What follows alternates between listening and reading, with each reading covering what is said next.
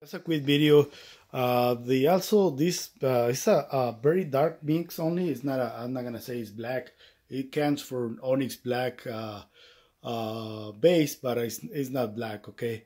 Um, so uh, just to show you the difference, uh, you have all the lights uh, from the outside. So you are planning to use a screen for presentation, and your office has a lot or light that you always need to close the, turn off the lights and you don't have windows uh, you're gonna be fine with light because uh, I think the ambient lights uh, will be the ones that are gonna make your projector uh, fade more okay? So you're gonna be able to control uh, your ambient lights uh, and then it's gonna be this way okay? And this is with eco mode. It's only 2000 lumens with eco mode with this projector because it does drop a lot uh, that's why the fan is not going because uh, it's only projecting uh, 2000 lumen. If you want to go with full power, uh, I don't know you can hear the, the projector right now, uh, but if you want to go with full power, uh, you can go.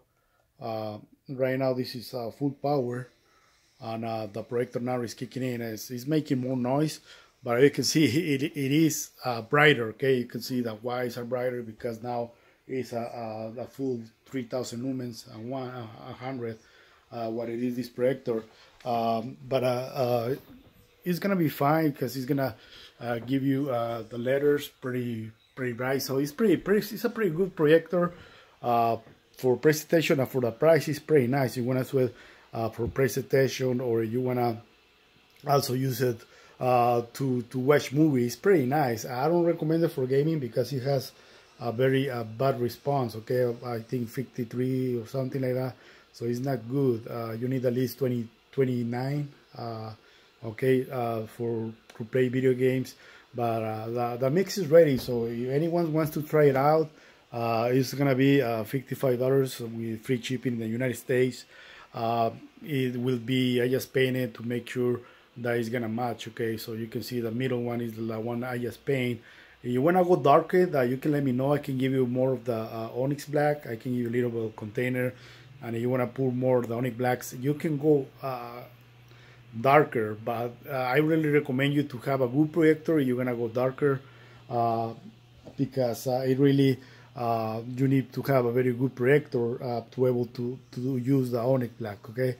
And you can see now I went back to the eco mode and you don't really don't notice a big difference um, to be honest. And if you turn off the light then uh, it's fine, okay? Because uh, I think they have a, a thing called Iris, uh, Iris or something like that. I don't know. Uh, this is the first time that I have an Epson, and that feature make it uh, very sharp, and also the image uh, make it pretty good, okay? Uh, but you can see this is only 1080p, so um, you can see how detailed um, your incomes are gonna be uh, even though it's not 4K, you have a 4K projector, uh, this image will be look beautiful, like you have a projector, okay? Uh, like you have a, a monitor uh, with better resolution, so that you're gonna get uh, better details, okay? But uh, with 1080p, I think it's pretty good details, okay?